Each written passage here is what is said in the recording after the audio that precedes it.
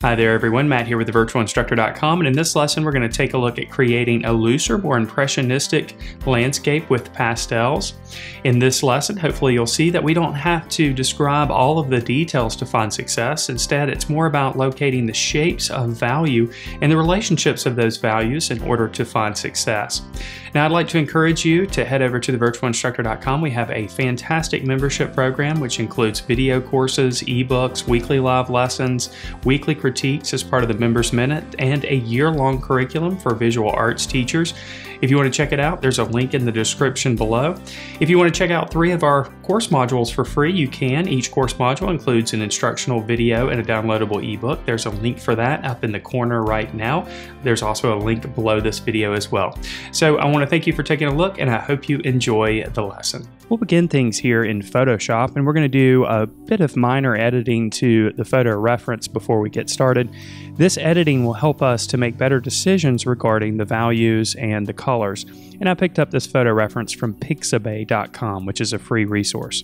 We'll start by duplicating the layer. We want to make sure that our base layer is untouched. So if we need to go back and change things, we can do so. Then we'll just go up to filter and we'll select camera raw filter. This will allow us to do a number of things here just using the sliders in Photoshop. The first thing we want to do is bring up the exposure just a touch. This will help to increase the contrast a little bit. And speaking of contrast, we'll bump up the contrast quite a bit as well. We'll bring up the highlights and we'll also bring down the shadows just a touch to create stronger bits of contrast. We can also make adjustments to the whites and the blacks as well, again increasing the contrast. Now, in this case, we're going to bring the clarity down just a little bit. This will help to eliminate some of the details and create some more softer relationships between the dark and light values. This is what we're going to be concentrating on mainly when we, when we begin painting the image with pastels. If it helps, you might decide to bring up the vibrance a little bit and bring up the saturation to bring out some of those colors to make them a little bit easier to recognize when we begin painting. Now we can just click the OK button and take a look at our changes. If you want to make comparisons, you can always hide the layer that you've just made the adjustments to to see the original image. And you can see the changes that we've made have really taken out a lot of the details, bumped up the color, and also the contrast. Now we're ready to start drawing, and for this demonstration we'll be working on Canson V pastel paper. I'm using the smoother side of the surface. Now I'm going to go ahead and start here with a stick of vine charcoal and we're going to begin by just blocking in some of the darker tones and values that we see. This is somewhat of a form of underpainting, although we're not concentrating on the details, just the big, large shapes of darker values. So we're basically just blocking in the darker values and tones that we see here. We'll also put an indication of the horizon line, and in this case, some of the dark values actually exist on the distant horizon line. We won't forget about some of the shadows and darker tones that happen close to the foreground either. So it's really easy to get overwhelmed with all the details that you see on the leaves, but we're only going to be concentrating on the shapes of tone and value that we see. So right from the start, we'll just begin by blocking in shapes of darker tone. Now we can move our way up to the sky, and I'm going to start here with a lighter blue, just looking at the shapes that are made in the sky. And in this particular case, we have quite a number of diagonals that happen here. This will help to create a little bit more emphasis on the tree in our landscape. You can see here I've switched over to a slightly different blue and I'm using a new pastel for this. You want to make sure in many cases if your sky is blue to maybe choose a blue that's slightly darker than the actual blue that you're seeing. We can always lighten this up with some lighter applications on top. You can see here I've switched back over to a lighter blue and I'm making some adjustments to our sky. We'll use a variety of different colors in the sky as well, although these color changes will be very subtle. Now that we've got the base applications in place for our bits of blue, we'll go back over the top with a very, very light blue. This is almost a very cool gray, and we're just going to block in the shapes for the clouds. You can see here that I'm already doing some negative painting in the mass of the tree, adding some of these light blue applications in where we have breaks within the leaves. Now, the clouds, of course, have volume associated with them as well, so we'll need to think about the light source and add a bit of shadow here to a few of the clouds. So we'll switch over to a lighter gray and place these applications mainly on the bottom portions of the clouds. At this point, we haven't done any blending. In fact, throughout this process, we're going to concentrate on mainly adding the pastel without any blending to give it more of a painterly, more impressionistic look. I've switched over to a very light yellow. This is very close to white, but not quite, and this will add some lighter tones and values to our cloud to help create the illusion of the lighter sides of the clouds. Now I've switched over to a darker gray and we'll apply this in just a couple of areas just to add a little bit more dimension to the clouds. Then we'll need to soften this up a little bit uh, because the darker gray is a little bit too strong at this point. So we'll switch back to a lighter gray and work that application over the top of some of the darker grays to soften this tone.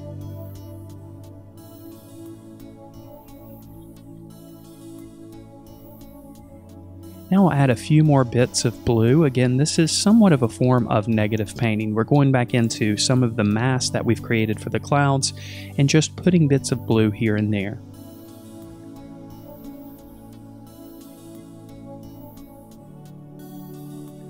Our sky is starting to develop, and in this particular case, we're going to allow some of the orange of the paper to show through. This will help make this, the blues a little bit stronger and help to increase the contrast and add a little bit more visual interest to the image. Now finally we'll go back with a bit of white. We're just going to strengthen some of the highlights and areas. We want to make sure that we don't get too overzealous with the white applications as this can make the image appear unnatural. We want to make sure that the white somewhat blends with the applications that we've applied already.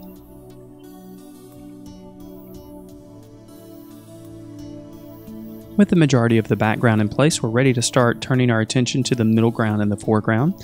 We'll start with the tree since this is ultimately going to be the primary focal point of the image. We'll start here with a darker yellow green and we'll just go over the top of the applications that we've made with the vine charcoal stick. Again, just blocking in the overall shape of the tree here. We're not concentrating on the details, just the overall form of the tree. We'll also address some of the plant life that exists underneath the tree as well with this darker yellow green. And we'll also hit some of the areas close to the horizon line. Now we'll begin working some of the value relationships, and this will be a continual process. We'll start with a bit of black, and we'll just fill in these black applications in areas where the shadow is the strongest. Again, we're concentrating only on the shapes of tone and value that we see, and not really concentrating on the details. We'll switch over now to a burnt sienna. Many of the colors in this particular image have somewhat of a rusty color associated with them, almost an, a reddish orange. And uh, the burnt sienna does a great job of addressing these locations. Just as we added the dark applications, we'll start addressing some of the middle values and lighter tones, this time with a lighter yellow green, hitting mainly the areas where we have highlight.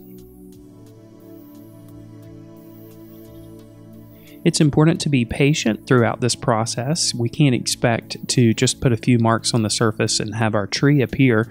Instead, it's going to take several layered applications of the pastels to build up the value relationships and ultimately create the illusion of form that we're after. Now with a bit of yellow ochre, we'll continue addressing some of the highlights and lighter tones. The light source in this image is originating almost directly overhead. It's slightly to the left side, so most of these highlights will exist on the upper portion of the tree. We'll also put a bit of this yellow ochre on the trunk of the tree, although we're going to do several different adjustments to the trunk later in the process. We'll add a touch of blue in areas to cool down some of the shadows. Of course, yellow and blue make green, so blue makes an excellent color for creating some of those more natural looking shadows. We'll allow some of those blues to just sit on the surface for now. Now with a lighter burnt sienna, we'll go back and address some of the trunks and branches of the tree. Again, though, we're going to make adjustments to this color. So right now it may look a little bit unnatural, but as we go through the process, we'll slowly bring these applications to a level where they appear more natural. We'll do some negative painting at the bottom of the trunk of the tree with yellow ochre before applying the yellow ochre to some of the locations in the immediate foreground. While we have the yellow ochre in hand, we'll go ahead and make some applications to the middle ground where we see the distant field. Mostly these applications are made using horizontal strokes. Then we'll go back to the tree again and apply that lighter burnt sienna in areas again just to bring out some more of those reddish hues. With each of these applications, we're still avoiding doing any blending, but what naturally happens when we apply a color over the top of colors that we've already applied in place is some natural blending will happen. Some of the colors underneath will show through, and some of the colors will be blended as well. We'll pull some of that burnt sienna down to the lower portion of the picture plane as well, and the reason for doing this is to ensure that we have some harmony and unity in the piece. Whenever you add a color in a painting like this, you want to make sure that in most cases it's not just in one location, but you can find it in another location as well. That helps to harmonize the image. Now we're going to go back and continue the process of pushing the value relationships. This time we're going to add a bit more black to make some of the shadows a bit stronger. We'll add a touch of blue as well over the top of the black applications. And then we'll use our dark yellow green to soften some of these dark shadows that we've created. We want these areas to appear dark green overall. We can still have some of that bits of blue show through, but we don't want the black to sit there by itself. As you can tell, the black by itself appears a bit unnatural. Now with a very light yellow green, we're going to strengthen up some of the highlights. We'll make strokes that somewhat mimic the shapes of the leaves, but again, we're not concerning ourselves with drawing or painting every individual leaf on the tree. We'll use a black again to strengthen up the shadow on the trunk of the tree and also add a few indications of some of the branches peeking through here and there.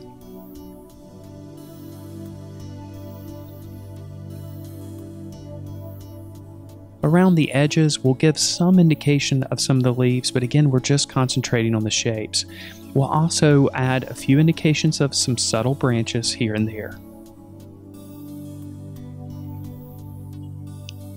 We'll work our way all the way around the outer contour of the shape of the tree.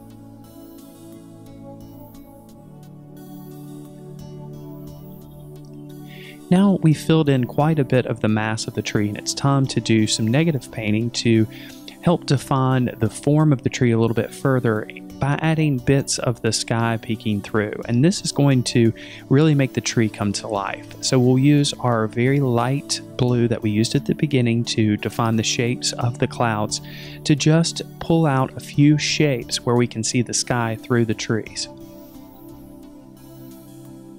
We'll do the same thing at the bottom portion with the yellow ochre.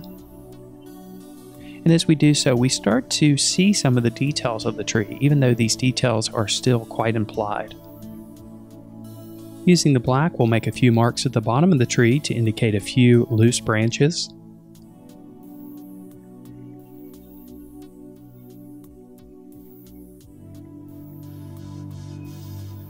We can do the same in the body of the tree, just adding a few more branches in some of those openings where we can see the sky. We'll also add a few more applications of the lighter burnt sienna.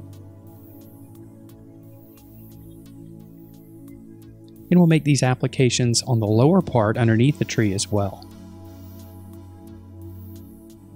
Now we'll turn our attention to the middle ground and the distant field. We'll use a bit of burnt sienna over the top, again using mostly horizontal strokes. Then over the top of this, we'll go back with the yellow ochre and basically blend these burnt sienna applications in a bit. Using our dark yellow green, we'll start creating some of the grass that uh, in the middle ground and the foreground. Mostly we're going to use vertical stroking for this since the grass is growing upward. We'll also add a bit of movement, uh, visual movement, as we're creating these strokes. We're going to allow most of the grass blades to kind of bend and curve to the left side. Again, this is going to put extra emphasis on our focal point, which is the tree. So we have these directional strokes or these implied lines that are happening in the clouds, and we can also help to accentuate that with the grass in the foreground by making directional strokes that flow towards the tree. We'll continue to add bits of darker tones and a variety of different colors to the middle ground, including some darker browns. And as we do so, we can go back over the top with a bit of yellow ochre and soften these applications. We'll continue to apply bits of our darker yellow green in the distant horizon as well. Again, we're still concentrating on just shapes of color and value that we see instead of all the details. That's perhaps the most challenging part of painting in a more impressionistic style is uh, allowing your mind to to see the shapes of value instead of all the details that seem to dominate our mind when we look at an image. Now we'll start adding some of the shadows and darker tones in the foreground with a bit of black and as we do so, we'll continue to make adjustments to the middle ground and the foreground. Basically, what we're doing is we're bringing up the value relationships and increasing the contrast as we go. So at this point in the process, I'm going to be bouncing around between the middle ground and the foreground. We've already established our area of focus, and now everything else that we're doing at this point is basically just helping to support the uh, focal point, which is, of course, the tree. We're adding some lighter values here and there. This isn't white, this is a very light yellow. And then over the top, we'll add an additional yellow here in this grassy patch that extends back into the distance. We'll add a few slightly darker browns in areas.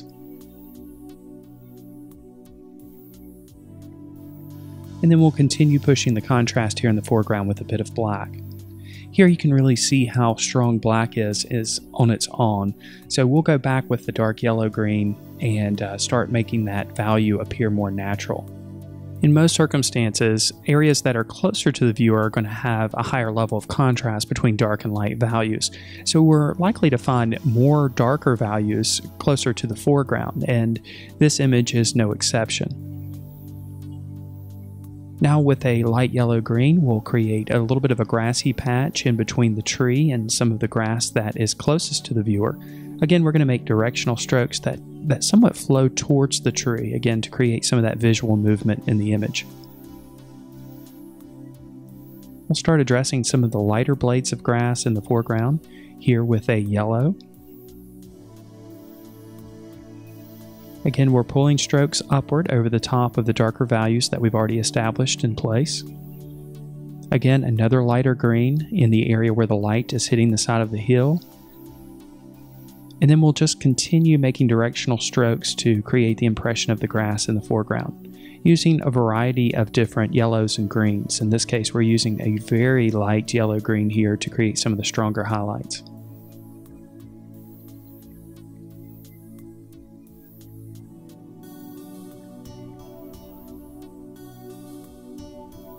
We'll add a small little grassy patch underneath the tree where a bit of light is getting through. And then we'll go back to the trunk of the tree and address some of the highlights and shadows that exist here. We'll darken up the shadow on the right side of the trunk of the tree and allow the left side of the trunk of the tree to be a little bit lighter Now we'll add a few indications of some wildflowers with just a bit of white, primarily on the lower right hand portion of the picture plane. We'll add a slight darker value behind the grassy patch to create a bit of shadow.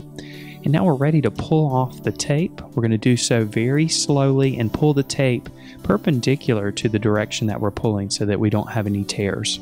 And now our looser impressionistic painting of a tree in the landscape using pastels is complete. If you enjoyed this video, then I know that you'll enjoy being a member at thevirtualinstructor.com. Our comprehensive membership program includes video courses on drawing and painting, weekly live lessons, ebooks, lesson plans for teachers, weekly critiques, and much, much more. To learn more about our program, just visit thevirtualinstructor.com forward slash members or click on the card in the upper right hand corner. And if you want to check out three of our course modules for free, you can do so. Just click on the link on your screen now. And if you're watching this on YouTube, make sure that you subscribe to the channel.